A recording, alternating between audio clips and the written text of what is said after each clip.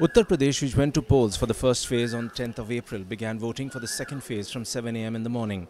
Over 1.8 crores electorate would be exercising their franchise to decide the fate of 151 candidates today for 11 Lok Sabha seats. In the second phase, the state which holds 80 parliamentary seats went on polls from early morning to decide the fate of 11 constituencies including Nagina, Moradabad, Rampur, Sambhal, Amroha, Budaun, Aonla, Bareilly, Pilibhit, Shahjahanpur and Kheri. Uttar Pradesh witnessed 65% polling in the first phase which was held on the 10th of April. There are 151 candidates in the fray which include stalwarts like former cabinet ministers Maneka Gandhi, Santosh Gangwar, Salim Sherwani, Dharmendra Yadav and Begum Noor.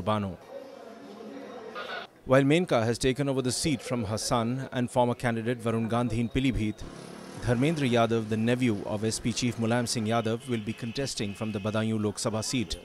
In 2009 general elections, SP had won four seats, Congress got three, while BJP had laid their hands on two seats out of the 11 seats. This report was brought to you by NNIS.